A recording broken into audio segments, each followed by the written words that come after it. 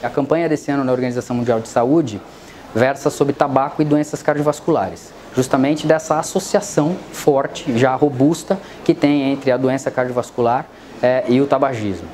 Um estudo é, publicado na revista Stroke Prevention, que é uma revista da American Heart Association, uma revista de grande impacto é, no mundo médico, realizou o seguinte, a, a seguinte pergunta: será que os pacientes que sofrem um acidente vascular encefálico, o chamado derrame cerebral, teria alguma correlação com o tabagismo?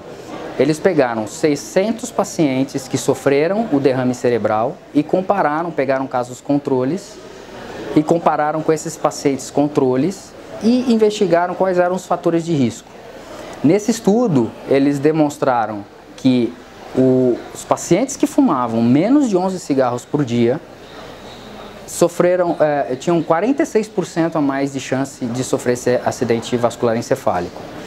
E houve uma curva dose-resposta, em que os pacientes que fumavam mais de 40 cigarros por dia, eles tinham até seis vezes mais chance de sofrer esse acidente vascular encefálico. O tabagismo ele é muito negligenciado pelo cardiologista ou pelo clínico. É uma doença é, de difícil tratamento, abrange diferentes tipos de dependência: dependência química, dependência psíquica, dependência física. É, e essas dependências elas dificultam muito a dependência social, o próprio hábito do paciente pegar o cigarro.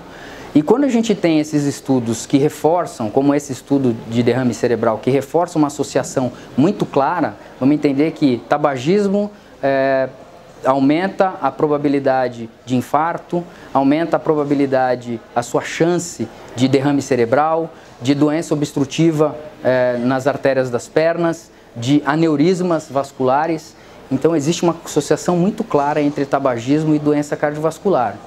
O que a gente precisa levar para a sociedade é essa associação clara, porque ainda existe um, uma lacuna entre essa informação. Apesar dos maços eh, terem muita informação, a população ainda é carente de que essa informação chegue plenamente a eles de profissionais de saúde, como a SOCESP tem, é, com o nome que a SOCESP tem, por ser o, o órgão principal no estado de São Paulo dentro da cardiologia.